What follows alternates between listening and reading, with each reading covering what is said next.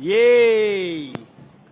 Pada hari Sabtu ini saya berada di lapangan tenis Karanawa Pariaman. Di sini lapangan tenis ini adalah lapangan tenis yang terbilang baik, standar untuk uh, yang terbaik di Sumatera Barat dan sampai hari ini masih dalam perawatan yang cukup uh, bagus para sahabat YouTube dan dusana-dusana karena di sini berkumpul para pecinta tenis Pariaman yang selalu uh, latihan secara rutin.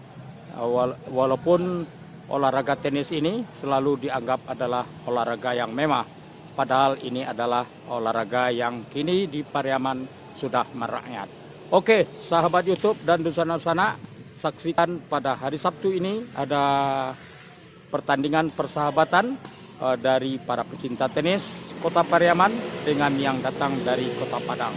Oke, salam tonton sampai akhir, subscribe, like, komen, dan share, dukung konten ini dan channel ini.